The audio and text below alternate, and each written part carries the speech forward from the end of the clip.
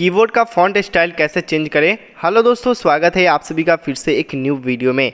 इस वीडियो के अंदर मैं आपको बताने वाला हूँ, अभी आप देखिएगा तो मेरा जो कीबोर्ड है, वो एक नॉर्मल कीबोर्ड आपको देखने को मिलेगा, ठीक है? चलिए मैं आपको दिखाता हूँ। यहाँ पर आप देख सकते हैं जो हमारा कीबोर्ड है, एक नॉर्मल कीबोर्ड है, और हम चाहते हैं इस कीबोर्ड के अंदर हम अपने मनपसंद का कीबोर्ड फॉन्ट चेंज करना, लगाना चाहते हैं, लेकिन हमें पता नहीं है कहाँ से कर सकते हैं। इस वीडियो को ध्यान से देखिए, इस वीडियो के अंदर मैं आप सभी को इसी के बारे में बताने वाला हूँ।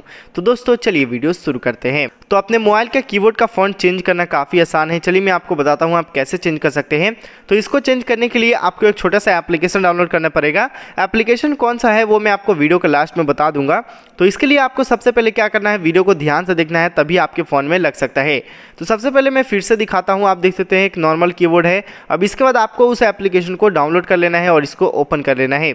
ओपन करने के बाद आपके सामने एप्लीकेशन का इंटरफेस कुछ इस तरीके का मिल जाएगा आपको, जैसे कि देख सकते हैं। यहाँ पर थोड़ा देर आपको लोडिंग लेगा। लोडिंग लेने के बाद कुछ इस तरीके का इंटरफेस आता है, आपको ओके वाले ऑप्शन पे क्लिक करना है और यहाँ पे क्लिक करने के बाद आपको जो है कुछ नहीं करना है डायरेक्ट यही ऑप्शन आएगा, ठीक है? आपको जो है फ़र्स्ट स्टेप कंप्लीट करना है, आपको यहाँ पर क्लिक करना है और क्लिक करने के बाद आपको यहाँ पे परमिशन को इस तरीके से अलाउ करना है। यहाँ पे अलाउ का ऑप्शन आ जाता है। आपको क्या करना है? ये वाला एप्लीकेशन को अलाउ करना है। यहाँ पे फॉन्ट कीवर्ड दिख रहा है ना, इसको आपको अलाउ करना है। ओके वाले बटन पे क्लिक करना है, फिर आपको ओके कर देना है।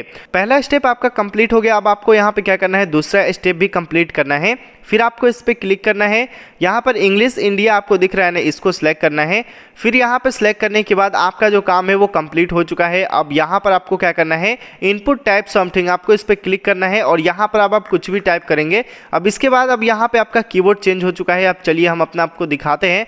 अब यहाँ पर हमने कीबोर्ड ओपन कर लिया है और इस कीबोर्ड की मदद से आप कहीं भी टाइपिंग करेंगे। जिस भी फॉन्ट में टाइपिंग करेंगे, वही फॉन्ट उधर जाएगा। आप जैसे कि देख सकते हैं, यहाँ पर ढेर सारा फॉन्ट मिलता है। जिस फॉन्ट में आप टाइपिंग करना चाहते हैं, वही फॉन्ट आप इस्तेमाल कर सकते हैं। जैसे कि इस फॉन्ट में आपको टाइप करना है तो आप इसका भी इस्तेमाल कर सकते हैं। और इस प्रकार से आप अपने कीवर्ड का फॉन्ट चेंज कर सकते हैं। वीडियो कैसा लगा कमेंट में ज़ोर से बताइएगा। वीडियो को लाइक करना, साथ ही इस चैनल को सब्सक्राइब करना ना भूलें।